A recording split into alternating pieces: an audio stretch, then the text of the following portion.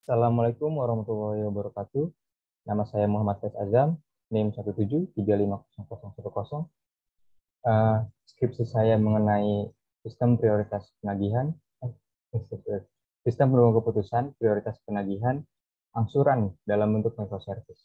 Jadi aplikasi saya ini apa aplikasi saya ini menentukan prioritas penagihan dari pembiayaan atau piutang yang ada di koperasi untuk ditentukan skala prioritasnya, yang mana yang harus ditagih duluan tergantung dari dari prioritas atau apa namanya kriteria yang dimasukkan. Kriteria yang dimasukkan di sini bisa berubah, bisa diubah-ubah di aplikasi saya, tergantung dari data yang dimiliki oleh koperasi dan juga prioritas yang ingin diprioritaskan oleh koperasi, kriteria yang ingin diprioritaskan oleh koperasi. Uh, langsung saja ini dia aplikasi saya. Kita pertama, ayo kita mulai. Dibuka di share screen dulu. Pertama kita nyalakan ini EMS. Saya menggunakan EMS untuk database MySQL-nya. Lalu kita nyala kita buka dashboard-nya ini saya masih menggunakan Node.js pada komputer jadi localhost pada komputer menggunakan Node.js lalu apa namanya di ininya untuk menyalakan aplikasi seperti ini di komputer di komputer pribadi menggunakan Node.js, jadi harus menginstal paket Node.js dulu di dalam komputernya. Lalu kita nyalakan npm start. Ya, ini aplikasinya. Server is running, sudah jalan ya aplikasinya. Dan kita buka Postman. Pertama-tama kita coba pakai Postman. Ini bentuk aplikasinya microservice, yaitu sebuah paket paket layanan kecil, aplikasi kecil untuk dijadikan apa arsitek arsitek arsitektur microservice. Jadi dia terhubung dengan API. Kita bisa mengeceknya di sini. Ini saya sudah buat paketnya SPK prioritas penagihan. Pertama-tama yang biasa dilakukan itu kita pertama harus ini dulu apa registrasi. Registrasinya menggunakan API key ini. Ini API key-nya. Ini saya taruh di sini. Ini dibuat saya buat random aja, saya buat asal aja untuk pas sebagai password masuk dia. Jadi untuk memastikan kalau yang masuk ini sistem informasi yang kita sudah tahu gitu. Iya, lalu kita lagi maaf mengganggu sebentar di send. Nah, nanti akan dapat API token seperti ini. Lalu API tokennya ini bisa kita copy. Lalu kita bisa ini. Ini untuk meminta prioritas apa rankingan prioritas penagihan dari datanya. Jadi yang tadi kita copy, kita taruh di feedernya di sini di token di feeder token kita buat kalau tidak ada dibuat dulu ini lalu kita pakai di sini. Ya. Lalu setelah itu kita isi di kita kirim file dalam bentuk JSON ke sini dengan format seperti ini. Pertama bobot kriterianya, ini kita bisa isi bobot-bobot kriterianya. Bobot-bobot kriteria yang ditentukan gitu ya. Lalu kita isi jenis kriterianya, maksudnya jenis itu seperti apa kriteria ini cost atau benefit. Kalau cost berarti nanti nilai maksimal yang diambil, kalau benefit eh terbalik. Kalau benefit nilai maksimal yang diambil, kalau cost nilai minimum yang diambil. Nah, jadinya lalu kita masukkan datanya. Ini data pembiayaannya. Datanya di sini. Dengan name ini paling atas name. Ini untuk label, label dari data pemisah data. Ini dari saya menggunakan kode rekening dari pembiayaan, kode rekeningnya pembiayaan yang ada di yang saya buat di sistem informasi saya. Jadi pertama ada pembiayaan ini satu, dua, tiga. Ini kodenya seperti ini di sistem informasi koperasi yang saya buat. Uh, pertama di ini kita ada kriteria penghasilan dimasukkan apa jenis-jenisnya apa maksudnya data-datanya seperti itu dimasukkan lalu kita bisa send saat di kita kirim nanti akan dapat feedback kita berupa data lagi data JSON juga seperti ini ini data yang didapat dari prioritas penagihan tadi dari rankingan tadi menggunakan metode simple additive ranking. Uh, kita bisa lihat ini ada ini total yang di dalam name ini kan yang label tadi, label untuk memisah data tadi. Nah ini total ini itu apa namanya skala rankingan nilai nilai rankingan dari dari itu apa rumus simple additive ranking. Jadi didapatnya begini, kita bisa diskalakan dari yang paling besar, yang ini, yang paling besar ya, kita bisa lihat. Ini yang kedua, ini yang ketiga. Jadi yang skala prioritasnya ini, yang ke pembiayaan 3 dan pembiayaan 4. Ya. Oke. Lalu kita ada lagi satu lagi itu proses yang untuk meminta data rankingan sebelumnya, yang sebelum-sebelumnya dari history sebelumnya. Saya sebutnya request history rankingan, history data history rankingan.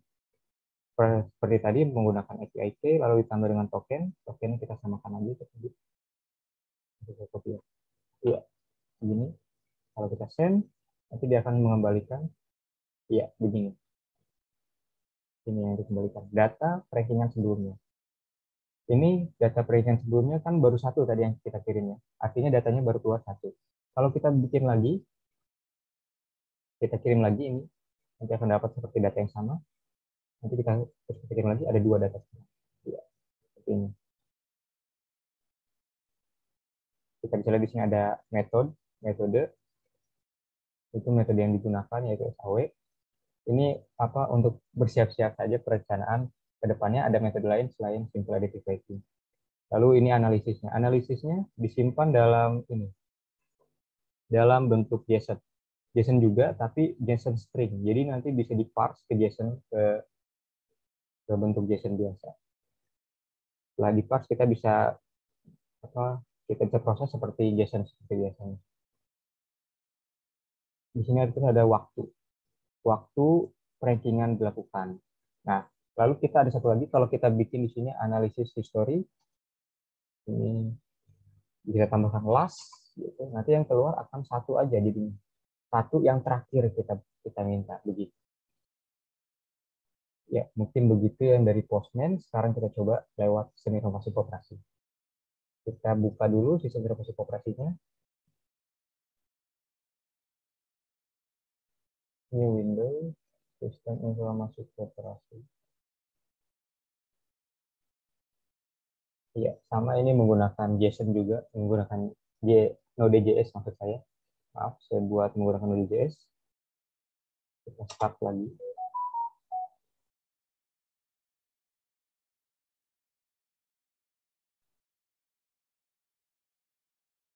Ya. Setelah di start ya sudah running ya sudah running. Kita buka. Lewat localhost ini localhostnya portnya 3000 Ya, mohon maaf ada update sebentar dari Firefox saya. Iya, sudah selesai.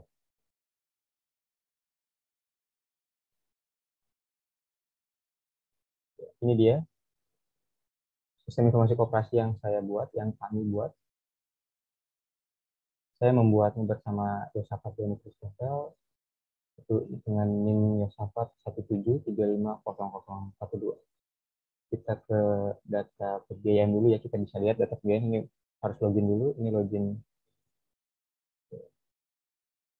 Ini data pembiayaannya yang ada sekarang baru lima ya dimasukkan lalu di sini ada prioritas penagihan nah, ini seksi yang saya buat ini di sini untuk kelihatan ini kita bisa lihat ini hasil prioritas data terbaru data prioritas terbaru ini. Kita bisa lihat priority value. Ini sudah diurutkan ya dari yang paling terprioritaskan sampai yang paling tidak terprioritaskan ini datanya. Kita bisa buka ini yang apa kode rekeningnya. Kita kalau kita pencet kita akan terhubung ke ya ini dia ke data rekening. Data rekening dari apa data kode rekening tadi pembiayaan tadi dia kita bisa lihat pokoknya angsurannya berapa kita lihat di sini skema angsurannya tagihannya juga apa namanya transaksi pembayarannya begitu. Lalu kita bisa ke histori permintaan prioritas di sini. Histori permintaan prioritas. Terbalik namanya harus permintaan histori prioritas penagihan. Mohon maaf kita terbalik sedikit ya. Eh, kita kalau bisa dipencet. Nah, ini akan keluar data seperti ini. Ini data data prioritas penagihan yang dilakukan sebelum-sebelumnya.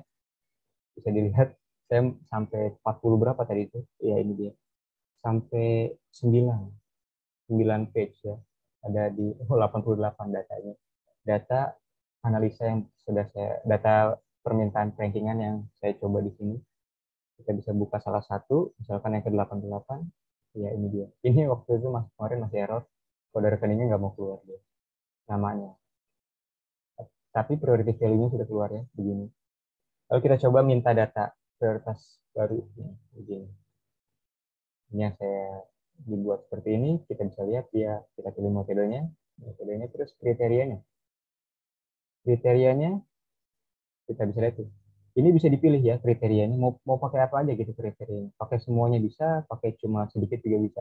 Pakai semakin banyak kriterianya makin rumit yang menentukannya. Tentu saja untuk bobot kriterianya dan juga jenis bobotnya. Tapi kita pakai coba kita pakai yang gampang aja dari pokoknya coba ya, langsung keluar di bawah ya di sini pokok bobot kriterianya di itu yang ingin yang perlu dimasukkan gitu ya terus kita misalkan dari red red pembiayaan red angsuran ini untuk penentuan terus margin.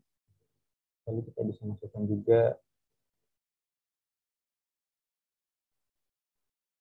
yang cocok misalkan penalti. Penalti kalau dia terlambat bayar. Misalkan kita bagi, ini ada empat ya, kita bagi yang pokok pembiayaan itu makin sedikit makin bagus, misalkan dari cost, marginnya makin besar, penaltinya itu makin besar, rate-nya makin besar juga. Misalkan bobotnya itu untuk pokok pembiayaan itu, ini kalau kita masukkan angka sembarang saja begini, nanti sudah saya buat ini supaya nanti dia di rata-ratakan, di rata-ratakan lalu dibagi. Jadinya akan otomatis dia akan otomatis nilainya ini apa namanya uh, setara begitu satu satu skala jadinya di sudah diskalakan di di codingannya lalu kalau kita buat misalkan margin ya yang penting itu marginnya kembali pokok dan marginnya kembali. Jadi ini kita bikin supaya ini kalau ini 10 ini juga 10 penaltinya itu enggak terlalu penting rate-nya juga enggak terlalu mungkin kita bikin. 8 juga ada bikin saja kalau kita request di sini tombolnya. Request. Nah nanti akan keluar seperti ini. Kita bisa lihat berarti value-nya masing-masing ini. Ini hasil dari yang terbaru data prioritas terbaru. Kita bisa lihat tuh tanggalnya tanggal 26 bulan 2000 tahun 2022 26 Januari 2022 kalau kita lihat di historinya ini yang kelemahannya masih di sini untuk apa namanya permintaan histori ini. Ini kan agak banyak file jadi lama dia. Agak banyak datanya jadi lama dia minta requestnya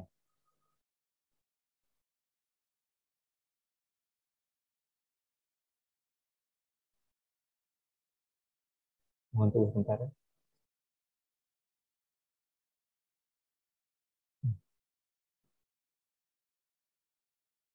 Hmm, terlalu lama ini. Kita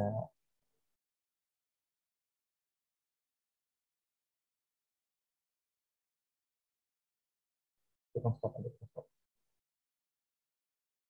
kita stop lalu kita ini aja yang ini aja kita bahas dulu uh, kita bisa lihat di sini ada prioritas value priority-nya yang tadi saya bilang ini hasil dari hasil dari metode SAW Synthetic Weighting yang sudah dirankingkan ya, sudah diurutkan, ini rankingan yang terbaik. Kita bisa lihat prioritas yang perlu ditagi itu pembiayaan yang ini. Kita kita pencet datanya, kita bisa pembiayaan produktif dengan jaminan sertifikat ini. Kita bisa lihat tadi kan kita menggunakan menggunakan ini ya data yang digunakan untuk kriteria kan data pokok, ini jangka waktu tidak red red margin penalti. Jadi ini ini ini ini dan ini. Kita bisa pokoknya tinggi ya lumayan nggak tidak nggak gede juga sih tapi dua juta empat juta empat ratus ribu. Kita bisa kan harusnya kalau pokoknya yang makin kecil ya tadi dan marginnya makin besar gitu yang diambil. Lalu penaltinya 5000 ini sebenarnya saya buat masukinnya datanya sama semua penalti 5000 semua jadi nggak ngaruh. Yang rate-nya rate-nya masih ngaruh. Rate-nya rate-nya berbeda-beda.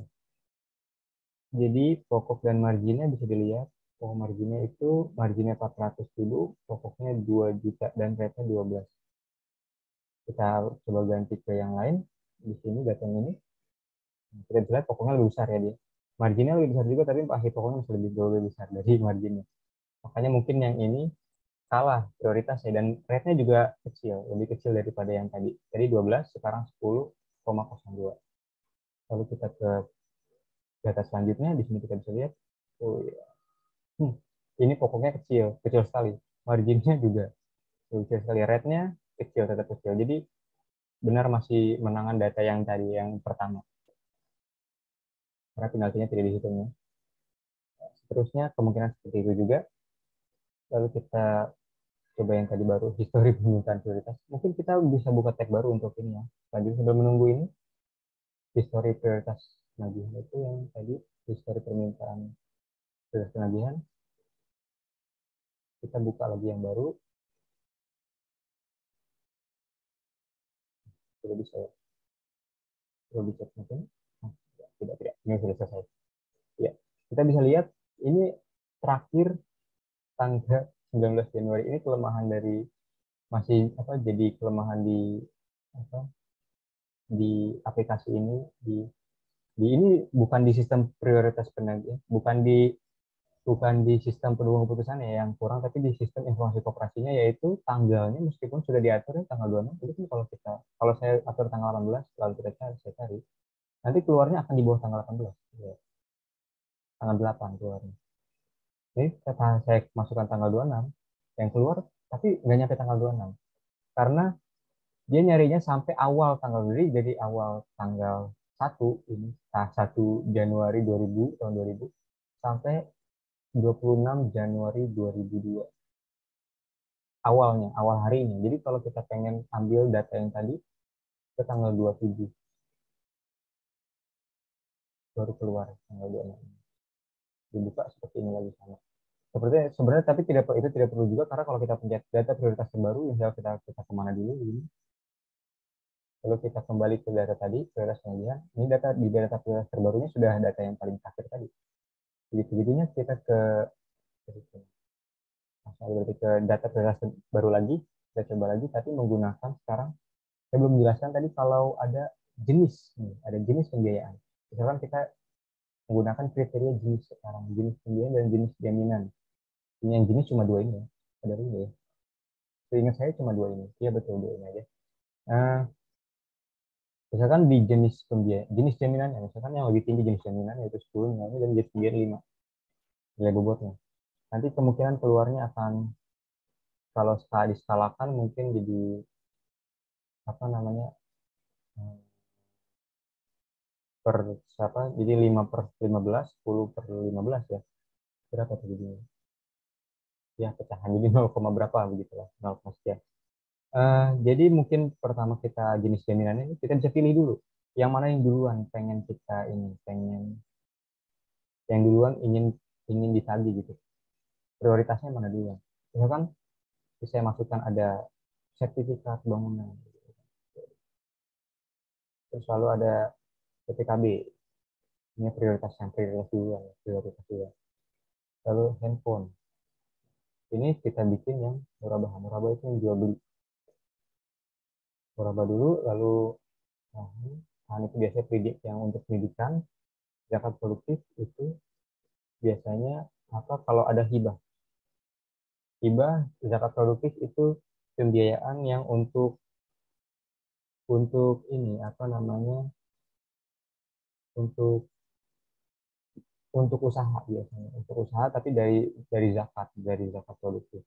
Namanya zakat produktif makanya request kita minta nah ini keluar datanya. Cepat ya ini ya. Mungkin karena cuma cuma sedikit kriterianya. Loadingnya jadi cepat. Kita buka. Waduh handphone duluan. Kan harusnya data jaminan tadi ini ya. Apa namanya? Yang duluan itu prioritas yang didulukan harusnya tadi kan. Soalnya kalau data kalau data jenis yang ada jenisnya tadi itu apa namanya yang benefit dia. Dia pasti benefit ini jenis jenis kriterianya jadi kalau dia dipencet apa diminta data jenis kita lihat tadi lagi data jenis kriteria pasti benefit nggak bisa nggak bisa cost. Karena diatur supaya mudah ya mudah di ini mudah di udah dipahami gitu maksudnya. Kalau kalau yang dipilih duluan itu harus diprioritaskan, tapi kita bisa lihat di sini yang dipilih duluan belum yang diprioritaskan. Karena yang saya pilih duluan kan data bangunan, sertifikat bangunan, ada sertifikat bangunan, yayasan, itu tadi rumah, rumah, rumahnya rumah ada di ada di dua ini PPKB tadi handphone yang paling terakhir harusnya pasti di sini. PPKB yang hampir terakhir di sini. Mungkin terbalik ya jadinya. Dihitungnya. Iya, dihitungnya terbalik berarti. Tapi tetap aja sertifikat rumahnya di sini. Tapi zakat produktif ini. Yang pertama tadi dikeluarkan itu murabaha. Ya benar, murabaha yang ini. Dan murabaha sertifikat rumah ini gitu. Ini Rahan. Rahan tadi yang terakhir ya? Enggak, zakat produktif yang terakhir. Mana zakat produktif? Ada, iya ada di sini. Yang ketiga. Mungkin karena sertifikat rumah juga dia jadi di, jadi di terakhir gini. Berarti ini syarat apa kriteria maksudnya ini rankingannya dari bawah ini. Karena terbalik di masuknya dia. Ya. Begitulah perkembangan aplikasi saya. Mungkin sekian dulu dari saya. Nah, saya mau undur diri, mohon maaf atas segala kekurangannya. Assalamualaikum warahmatullahi wabarakatuh.